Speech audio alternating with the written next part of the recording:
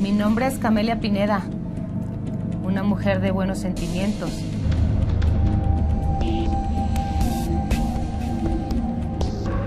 Que por enamorarse del hombre equivocado, terminé convertida en una criminal.